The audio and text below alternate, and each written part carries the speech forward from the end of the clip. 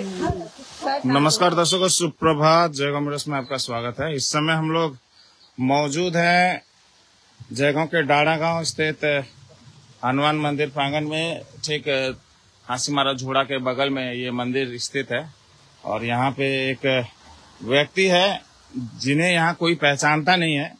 काफ़ी दिनों से, करीबन चार पाँच दिनों से इन्हें यहाँ देखा जा रहा है, लोग बता रहे हैं। यहाँ देखा जा रहा है और बीमार बताए जा रहे हैं। हम लोग ये दृश्य दिखा रहे हैं ताकि इनके परिवार वाले या यहाँ के कोई भी व्यक्ति अगर इनको मदद पहुंचाना चाहता है तो ज़रूर पहुँचाए। आप देख सकते हैं, करीबन करीबन चार पाँच दिनों से इसी तरह से मंदिर के इस क्षेत्र में ये व्यक्ति यहाँ पे देखा जा रहा है, बीमार है। और कहाँ से आया है, किस लिए यहाँ पे आया है ये विषय में हम लोग जानकारी लेंगे। भैया क्या नाम है आपका? तापस दास। आ? तापस दास। तापोस दास। बंगाली है? कहाँ घर कहाँ? आसाम। आसाम में। आसाम में कहा? रंगिया भूटान बॉर्डर में। भूटान बॉर्डर रंगिया। तो यहाँ क्या करने आया? पहले से मैं काम करता था हाजिरा काम करता था। यहाँ पे काम करता था? कहाँ पे? लॉकडाउन पहले इधर ही नेपाली इधर उधर काम मिला अच्छा। हाजिरा ये लेबर ही काम करता था। अच्छा। कितना दिन से यहाँ है? इधर होगी आया हुआ सिक्किम से आया हुआ एक महीना हो गया। पहले क्या सिक्किम में था? ए, एक महीना पहले आया? और आप अभी यहाँ पे क्या कर रहा है? बीमार है? क्या हो गया? पूरा दर्द करता पूरा पूरा दर्द कर रहा है? कब कब से बीमार है? कम से कम बीस पच्चीस दिन हो गया धीरे धीरे था कम से कम कुछ ऐसे ही अच्छा ऐसे रहता कहाँ था? यहाँ आने के बाद कहाँ रह रहा था? बटन टली हैं? बटन टली बुलंद टर्निंग? वहाँ पे कोई है? उधर काम करता था वो मालिक बोला पैर अच्छा होने से आ जाना क्या नाम ओ, मालिक के वहीं पे काम करता था? क्या काम करता था? वो कबाड़ी दुकान में कमल। कम कबाड़ी दुकान में काम करता था। वो बोला हाजिरा दो सौ रुपये देता था। अच्छा। तो बाद में बोला में अच्छा हो कॉपीराइट भी दिखाया। अच्छा। मालिश वालिश कराया झाड़ फूक कराया। तो यहाँ क्या हॉस्पिटल में भी दिखाया है क्या? हॉस्पिटल आया उधर से हॉस्पिटल में दिखाया क्या बोला? बोला हाजीपुर चला जाओ बोल के बोला नहीं तो झाड़ फूक करो आ, क्या पैर में प्रॉब्लम दर्द के दवाई खाने से दर्द नहीं कमता है पता नहीं चलता नहीं चल रहा है ना? अभी क्या है। क्या घर जाना है। घर जाना है। तो क्या पैसा वैसा है? खाना वाना क्या खाता है? खाना तो ही कोई कोई है। ले आके देता है तो खाता है। हम्म। कहाँ घर बताया? दरेंगा। समझो का दरेंगा। वो तो भूटान में है। दरेंगा इंडिया अच्छा अच्छा। तो उस समय अच्छा अच्छा। चलो आसाम में है। अच्छा।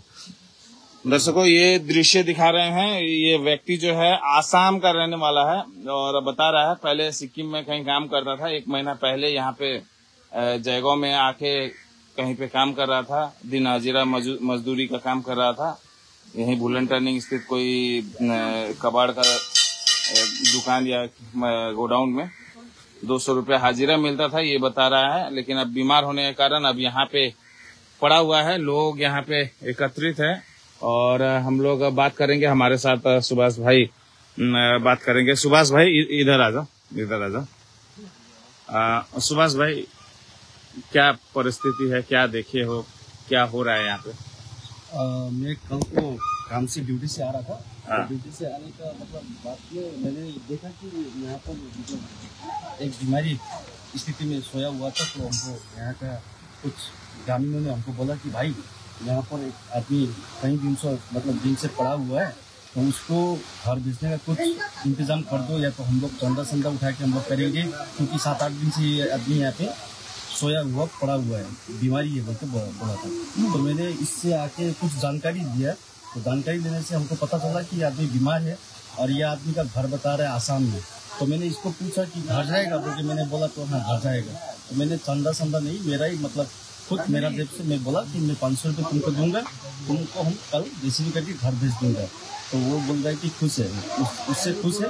तो मैंने ग्रामीणों से भी कल रात को मैंने बोला कि कुछ खाने के लिए व्यवस्था किया है उसको भी देता है बोल के मैंने पूछा तो ग्रामीणों ने वो बोल रहे कि हाँ कुछ रोटी वगैरह कोई पैसा एक दो सौ रुपये पैसा दे रहा है। और आज सुबह भी मैंने आके इसको पूछा कि कुछ खाया? तो बोल रहा है हाँ भैया केरा खाया। तो मैंने अभी अ, पैसा रेडी करके इसको भेजने का इंतजाम अभी कर रहा है। और कौन कौन सहयोग कर रहा है? यहाँ पर मेरा आंटी जी है और ग्रामीण मतलब ग्रामीण का लोग है कि इसको भेजने के लिए मतलब सब तैयार है बहुत बढ़िया है बहुत बढ़िया है। और आन्टी के हेल्प गर्नुहुँदैछ हजुर किनभने हिजो म अस्तिदेखि देखेँ हो अन्त मलाई पुरा मनमा पुरा लाग्यो अनि हिजो ठिकै भने सुभाष आउँदै रहेछ त सुभाष भाइ यसो चन्दा उठाएर भयो भने उसलाई हस्पिटल लैजाउँ न किनभने पुरा मर्नु आँटेको छ भरे बाइचान्स मऱ्यो भने के हुन्छ भनेर मैले भन्दाखेरि सुभाष भाइ कुदेर यहाँ आएर अन्त सुभाषले हेरेर दिदी भोलि बिहान म आउँछु अनि सल्लाह गरेर पठाइदिउँ भनेर त्यही कुराहरू यो गाउँको नाम के हो? डाँडाको। आंटी को नाम क्या है? शांति दर्जी आप देख सकते हैं यहाँ के यहाँ के क्षेत्रीय क्षेत्रीय लोग यहाँ पे मदद पहुंचा रहे हैं और इस व्यक्ति को घर पहुंचाने के लिए प्रयास कर रहे हैं। अच्छी बात है कि लोग इंसानियत को समझते हुए, इंसानियत बरकरार है और इंसानियत दिखाते हुए इस व्यक्ति को मदद करने के लिए आगे आ रहे हैं और इस व्यक्ति को घर वापस पहुँचाने के लिए पहल कर रहे हैं। इसके लिए इसके लिए यहाँ के निवासियों को धन्यवाद देना चाहेंगे। यहाँ के क्षेत्र निवासियों को धन्यवाद देना चाहेंगे जो इस इस पहल को आगे बढ़ा रहे हैं और इसी तरह से, इसी तरह से कोई अगर असहाय, किसी, कोई बीमार, कोई बुज़ुर्ग, कोई भी इस तरह के व्यक्ति इस तरह से देखा जाए तो आप लोग भी मदद मदद ज़रूर पहुंचाएँ। और मंदिर है, भगवान का प्रांगण है और यहाँ पे अगर कोई शरण लेता है, मदद का आशा लगाता है तो उसे मदद ज़रूर मिलनी चाहिए। और ये दृश्य दिखाते हुए हम लोग यहाँ से विदा लेना चाहेंगे। आशा करते हैं कि ये व्यक्ति सही सलामत घर वापस पहुंचेगा। और इसको पहुँचाने के लिए जो भी व्यक्ति यहाँ के क्षेत्र निवासी मदद पहुँचा रहे हैं, उनको तहे दिल से धन्यवाद है। जय गोमिरस के साथ जुड़ने के लिए धन्यवाद। इसी तरह से हमारे चैनल के साथ जुड़ते रहिएगा। पल पल के खबरों के लिए आप सभी के समक्ष हाजिर होते रहेंगे। जय हिंद।